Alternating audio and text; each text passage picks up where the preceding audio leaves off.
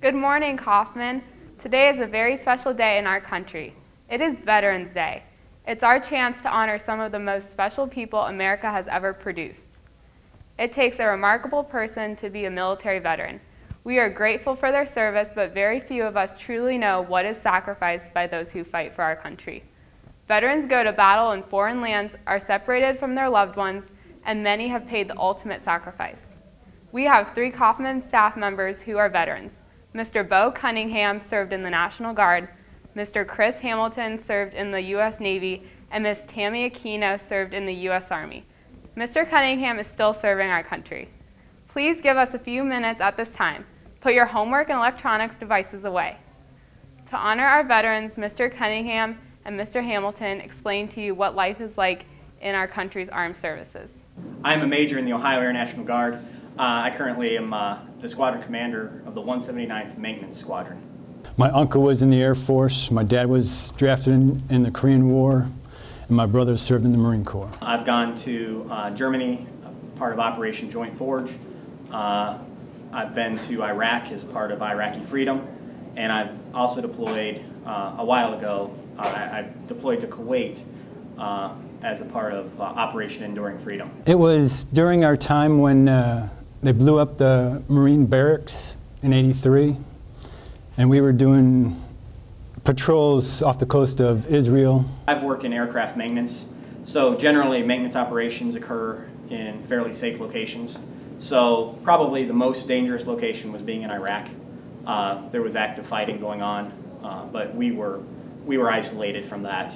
I mean to be able to share time with other veterans that have served. There was a lot of, you know, there was a lot of riding on that deployment and it was my first deployment where uh, I was leading maintenance operations.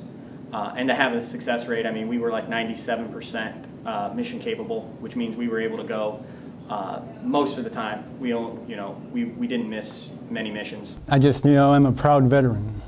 Try to imagine yourself serving as these men did.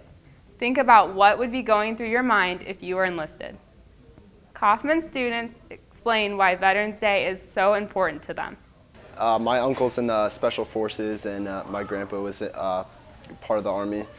And uh, it's just a really special day. Uh, I'm going to be going to the Air Force Academy, and I just think it's really great to honor like the people that have served us. We wouldn't be here right now if it, if it weren't for them. Veterans Day means a lot to me because these people risk their lives every day. I think to me Veterans Day means honoring those who have risked our lives to save our country. It's a very important day that I think everyone should recognize and give thanks to the veterans. Veterans Day is an important part of American culture, honoring those who serve to protect our liberties, our lives, and most of all, our freedom. Please stand for the Pledge of Allegiance.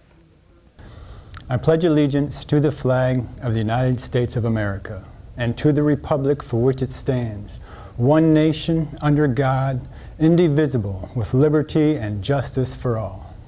When you have some quiet time later, try to envision how many American veterans are in our country's history.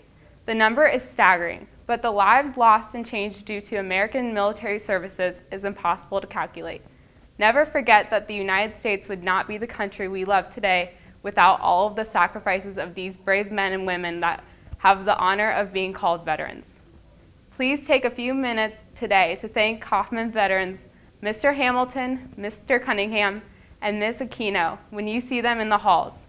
If you know any veterans, to be sure to send them a message or call them and thank them for their service today. Happy Veterans Day.